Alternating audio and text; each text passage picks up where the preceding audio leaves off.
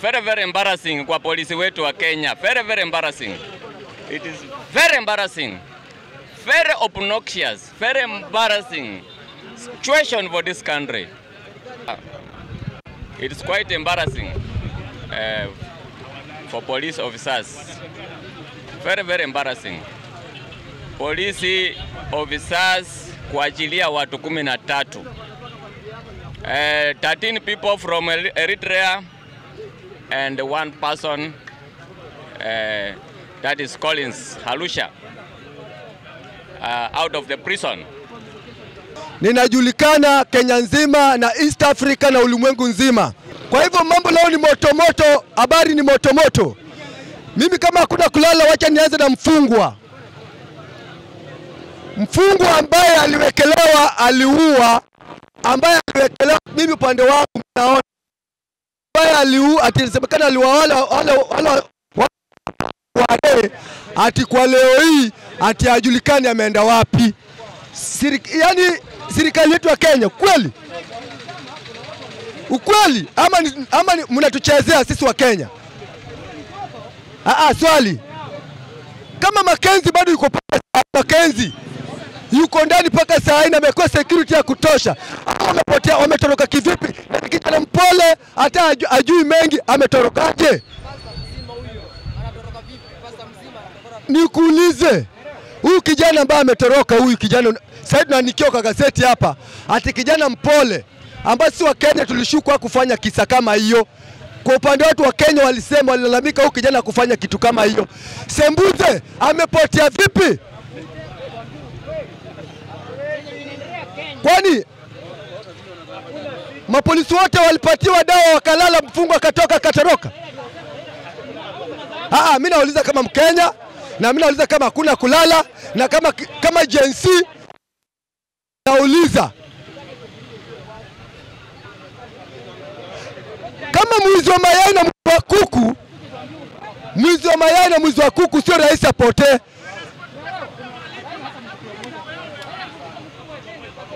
Weka hapa, weka kwa mic. Weka kwa mic.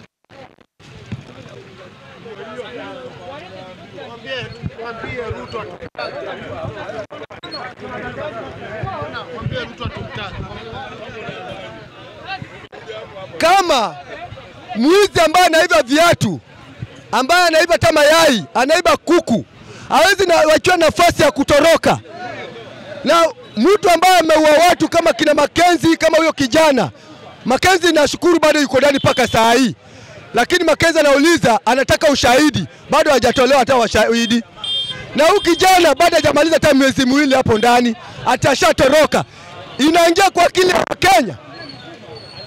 Sawa, tuliona kama Kenya amebandikiwa kesi, ataliua wale wale wale walipatikana kuare. Sisi wa Kenya tulishuku waliuliwa. Sasa hii ya kutoroka ni gani?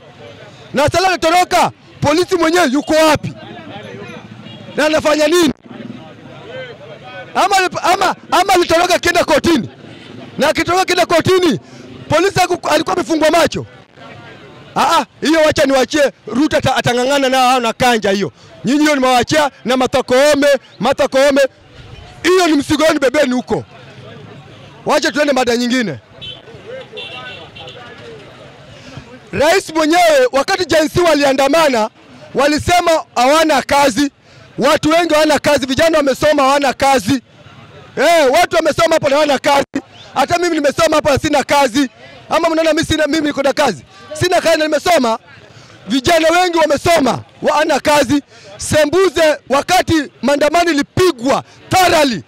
Ruto akasema kama uko na 60 enda nyumbani. Huu Kanja Douglas Kanja ameapishwa kazi gani? Eh, ameapishwa kazi gani? Kwani hakuna mwingine anaweza kuchukua hiyo hiyo hiyo hiyo nini hiyo idara yake ambayo kuna 55 years ndio wengine wapate kazi. Lakini Ruto pia anatuchezea kama Wakenya. Ruto ni mdomo mwili, upande mmoja anasema, upande mmoja anatutia maji. Si ukisimama usimama, ukisema ni 55 ni 55, mtu aende nyumbani na akienda nyumbani apatiwe trakta, apatiwe mbuzi, apatiwe kuku, apatiwe kondoo, aende avuge huko nyumbani. Ndio maana mimi kusema tu kweli, rais wetu ambaye huyu rais wetu Ruto ah, kumjua ni ngumu. Yeye anaitwa a man of double speak. Huwezi mwamini 100%. Wacha tu niseme tu ukweli. Hawezi sema kitu straightforward, akisema kama mwanaume, mimi nimesimama na kama ni 55 ni 55, huyu hata nani? mkaji wa Likoni, Mombasa. Maoni yangu kulingana na wale mabosi walitoroka, walitoroka kwa remand kule Nairobi. Kwanza hao watu hawakutoroka, hao watu walitolewa na serikali, na serikali isije kudanganya wananchi. Hakuna vile mtu mmoja anaweza uwa watu 40 zaidi, sio kwa mwezi, zaidi ya miaka miaka miwili hivi. Huyu jamani, jamaa alifuatwa kufunika uovu wa serikali baada ya uovu wa polisi kujulikana. Sababu gani nasema hii? Huyu jamaa kulingana na statement aliandika, sijui kama aliandikiwa ama aliandika, lawyer alifuatilia tena ku- kumexamine ama kumhoji kando, ikapatikana hizi vitu ni tofauti sana na statement aliandika.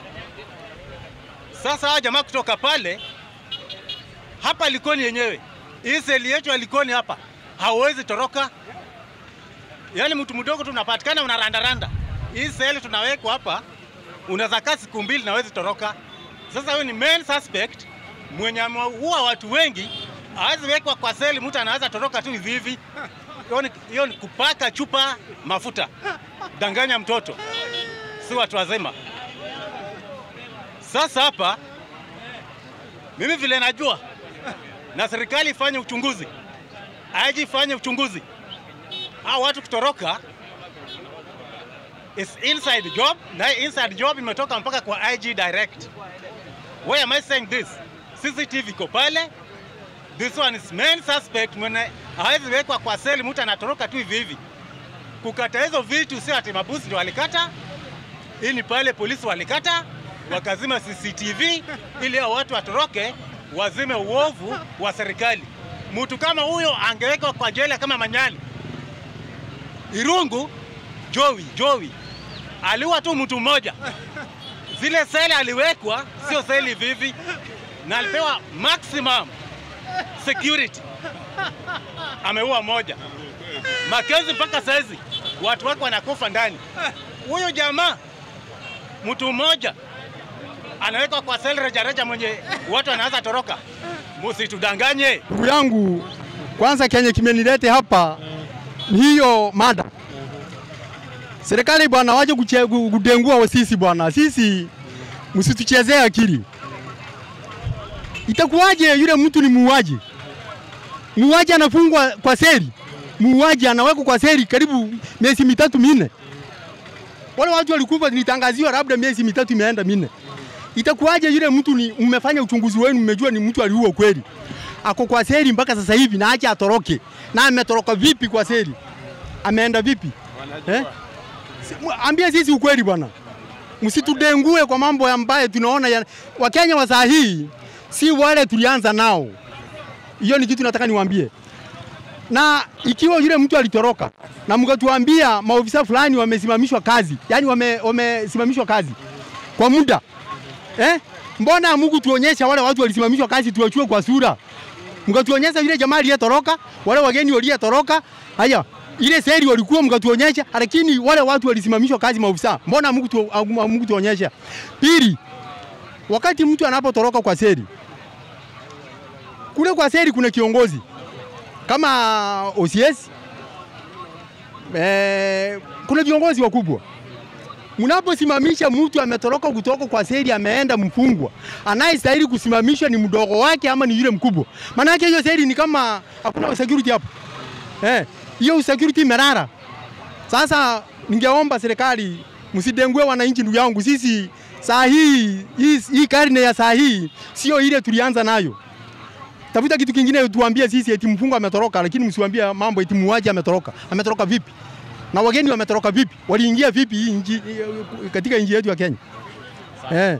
Katiba inasema ya kwamba e, mu, mu, mu, mu, mshukiwa akipelekwa kotini ina, inaonekana serikali pia inafunja katiba yenyewe. e, kwa sababu alipelekwa kotini, mbona walimrejesha tena kwa, police kwa police station? It is not making sense. E, so inamaanisha serikali pia ime, ime nani katiba yetu inaikandamiza, haifuati katiba vile nasema. Huyo mtu afai akae kwa seli, anafaa akae rumande, si kwa sel, si police station, si kwa seli ya police station. So hapo pia serikali haja kuchezea Wakenya akili. Very very embarrassing kwa polisi wetu wa Kenya. Very very embarrassing. It is very embarrassing. Very obnoxious. Very embarrassing situation for this country. Na nataka kuongelea kuhusu uh, prison break. It is quite embarrassing uh, for police officers. Very very embarrassing. Polisi officers kuachilia watu kumi na tatu.